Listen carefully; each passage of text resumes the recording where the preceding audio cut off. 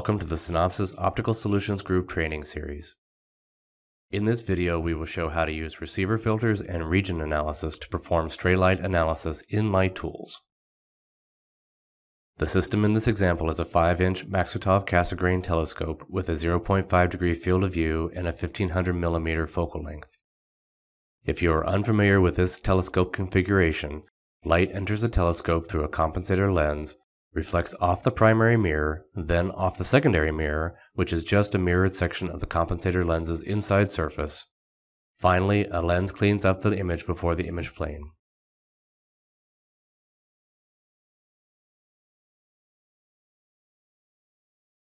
In this example, all the lens and mirror surfaces in the image path use a Harvey-Shack optical property, as we assume that the surfaces have been polished to a 1 nanometer RMS roughness.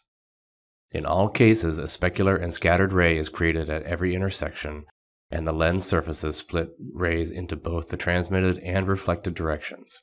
Every other surface in the model is an absorber. There are three collimated light sources in the model, one on axis, one at half of the full field of view, and one at the full field of view.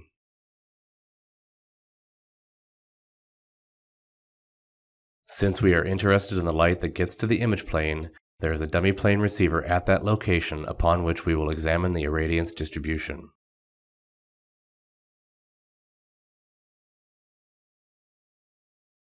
The illuminance mesh resolution is approximately 0.1 mm by 0.1 mm and all mesh smoothing and data averaging options are disabled.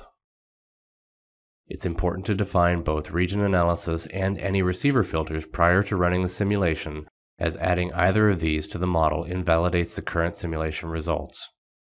We will use several receiver filters in this example. Filters can be added to a receiver by selecting the receiver, then choosing Receiver Filters, Add Filter from the context menu. The source filter requires an initial source choice, so we choose the on-axis source. The remaining filters are count filters, they allow us to choose which rays contribute to the receiver results depending on the number of times a particular type of intersection occurs. We are going to add four of the count filters and disable them at the onset.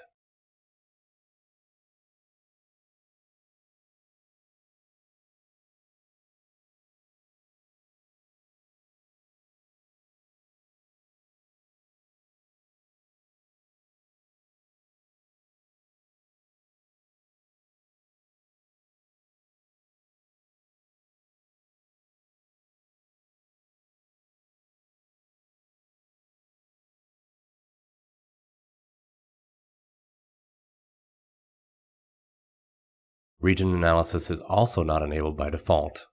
To enable region analysis for the desired receiver, open the Simulation Input dialog box from the Ray Trace menu, then enable Collect Region Analysis Data on the Data Collection tab.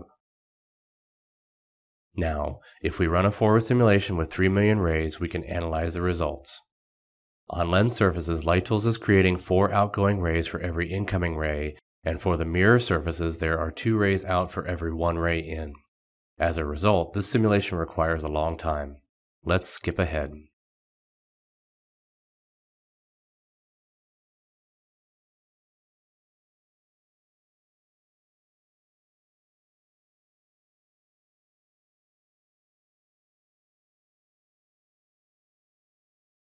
Now that the simulation is complete, we can hide the NS rays and start looking at the results.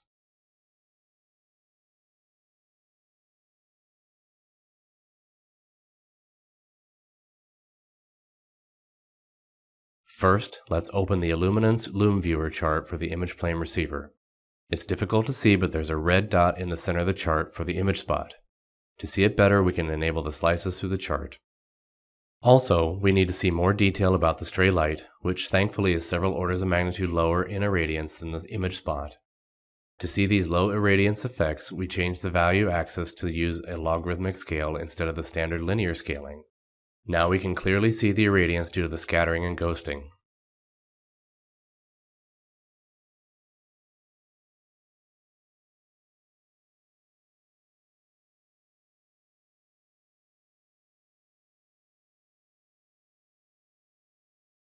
Let's change the filter configuration to identify the types of stray light in this system. By enabling the scatter count filter and setting the condition equal to zero, we can see the light distribution that has no scatter.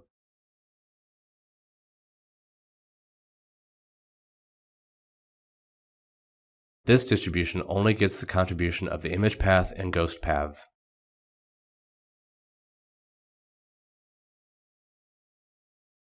The peak irradiance, which is the spot, is about 45 watts per millimeter squared.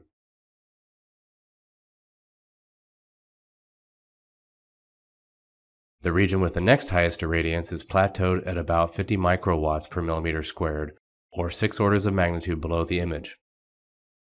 If we set the scatter count filter to be not equal to zero, the distribution shown is only due to scatter. The peak irradiance due to scatter is about the same as the ghost irradiance.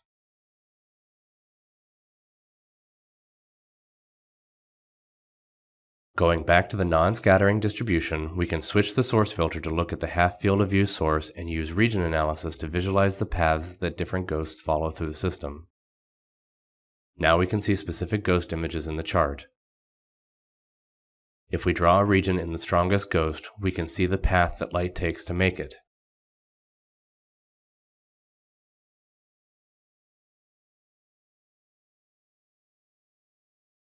Looking in the 3D view, we can see that the ghost with the highest irradiance is due to a single set of reflections within the lens of the system.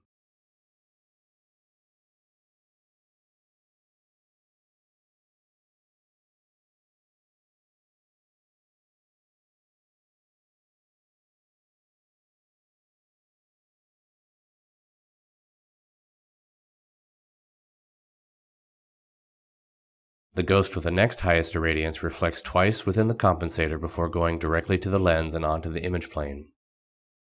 We can also use the other filters to help isolate paths. In this system, the image path has six specular intersections, two refractions through the compensator, one reflection off the primary, one reflection off the secondary, and two refractions through the lens. The refract count and reflect only count filters can be used to define this case exactly. However, with this filter configuration, the ghost from the compensator is still visible. To truly isolate the image path, a surface filter would need to be used to consider only light that hits the primary mirror.